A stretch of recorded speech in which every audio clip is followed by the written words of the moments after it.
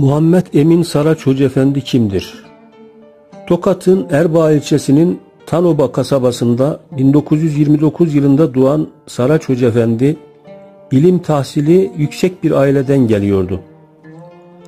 Dedesi Nakşibendiye'den Müderris Üzeyir Efendi, Niksar'ın Keşfi Camii medresesinde müderrislik yaptı. Müderris Üzeyir Efendi dönemin sayılı uleması arasında gösteriliyordu. Dedesinin yanında 6 yaşında Kur'an-ı Kerim hatmederek hafızlığa başlayan Emin Saraç Hoca Efendi'nin ağabeyi Bahattin Saraç, kardeşleri Osman ve Yusuf ile kız kardeşleri Kur'an-ı Kerim hafızı olarak yetiştirildi. Muhammed Emin Saraç Hoca Efendi 1940-1943 yılları arasında Niksar Merzifon'da mukabeleler okudu. 1943'te ailesi tarafından tahsil için İstanbul'a Ali Haydar Efendi'nin tekkesine gönderildi. Ali Haydar Efendi tekkesi sürekli gözlem altında tutulduğu için Muhammed Emin Saracı Fatih Camii baş imamı Ömer Efendi'ye emanet etti. Ömer Efendi'nin yanında Kur'an talimi yapmaya ve telhis okumaya başlayan Saraç, Fatih Camii'nde 3 ay misafir kaldıktan sonra Karagümrük'teki Üçbaş Medresesi'ne gitti.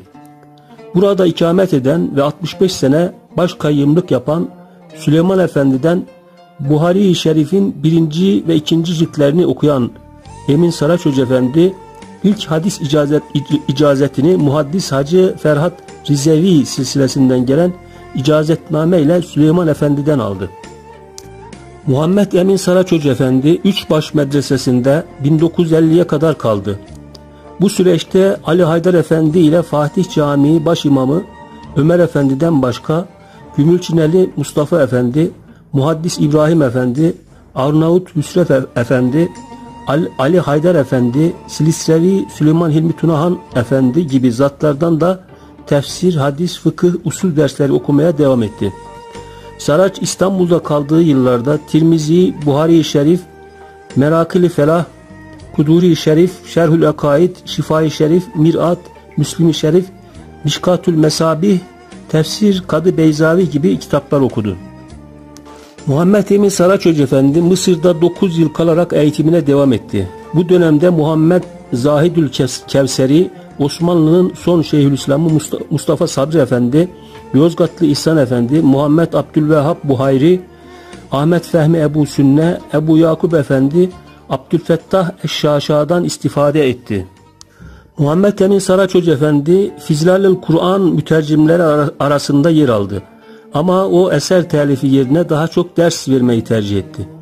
2000'den fazla talebe yetiştirdi.